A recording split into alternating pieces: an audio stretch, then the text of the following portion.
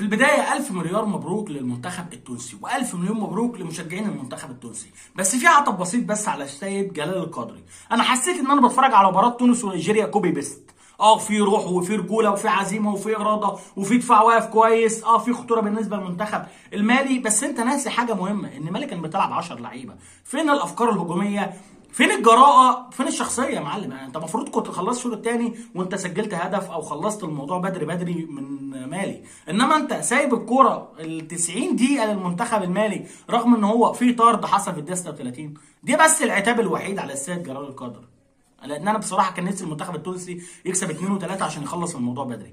انما حتة ان المنتخب التونسي يفضل مسجل هدف والمنتخب المالي يفضل راكب ال game لحد آخر دقيقة وهو بيلعب 10 بصراحة دي كانت بتوجع البطن اللي هو كل كرة عرضية انت مقلق فيها. بشير بن سعيد بيطلع بيخبط في اللعيبة والكره بترد لعيبة مالي اللي هو انت حاسس ان في روشة جوه الملعب مع انك لو ركزت كده هتلاقي ده بالك تلعب 10 والمساك بتاعها مطرود. الموضوع مش مستاهل كل ده. نطلع يا عم نهاجم. إحنا معانا جودة كويسة ومعانا خامة كويسة.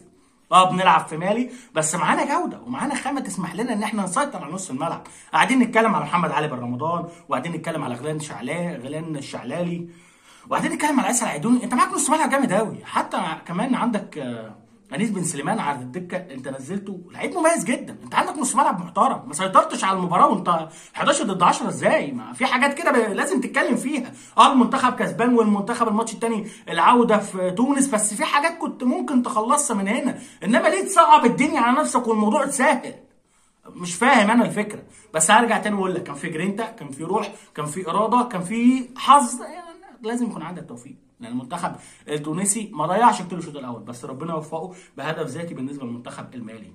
المنتخب التونسي النهارده عتبي عليه إنه كان ممكن يخلص المباراة 2 و3 بس مع الأسف الشديد الشخصية قررت إن هي ترجع تدافع وتستغل إن هي متقدمة. طب ولو تعادلت لو تعادلت وهم بيلعبوا 10 كان المنظر بقى عامل إزاي؟ أنا عارف إن الكلام بيطلع على النتائج يعني النتائج النهارده إيجابية. ناس تقول لك أداء عظيم وجرينتا وعبقريه طب ما افرض كنت تعادلت كانت الدنيا بالنسبة لك هتروح إزاي؟ انك لو ركزت على الإحصائيات هتلاقي إن أنت 10 تسديدات راحوا عليك.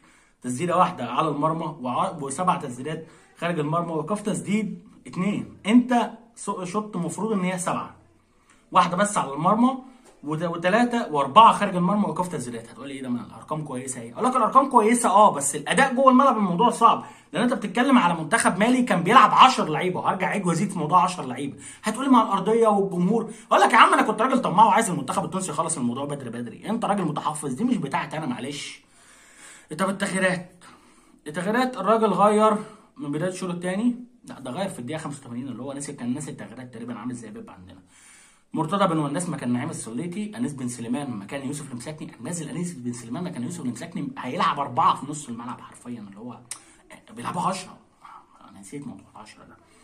طه ياسين خنيسي مكان سيف الدين الجزيري في الدقيقة 65 فين يا معلم الأفكار الهجومية؟ مش مهم الأفكار الهجومية، المهم إيه اللي حصل؟ المنتخب التونسي كسب. بس لا أكتر ولا أقل، هتقول لي يلا المصري سوري الترند هيحط عليك. أقول لك والله يا برو أنا كنت معلق انك تجيب الثاني والثالث وإنك ربنا يكرمك من مالي. لا أكتر ولا أقل، وبعدين لا تنسى إن ولادنا علولو نجم المباراة بالنسبة للمنتخب التونسي، حبيت أو أبيت ابننا علولو قدم مباراة مميزة. وبصراحة نادر قدم مباراة كويسة. هو منتصر طالبي وطبعا محمد دراجر، وهنعيد ونزيد نص ملعب منتخب تونس يخليه يمسك كرة قدام التخين. بس مع الأسف الشديد هي الأفكار الفنية هي اللي بتخلي الدنيا بالنسبة لعيبه المنتخب تونس تبقى باينة إن هي متراجعة شوية. مليون مبروك للمنتخب التونسي، ألف مليار مبروك للجماهير التونسية، إن شاء الله بإذن الله نحتفل كلنا في رادس في المباراة العودة إن شاء الله لأن تونس بدأت تحط رجل ونص في الصعود لكأس العالم قطر 2022 ونفرح كلنا وندعي كلنا لمنتخب مصر ربنا يطلعه بالسلامة قدام المنتخب السنغالي. لو عجبك الفيديو اعمل لايك، ما عجبكش الفيديو يلا ندعي كلنا لمنتخب مصر قدام السنغال دلوقتي، يلا.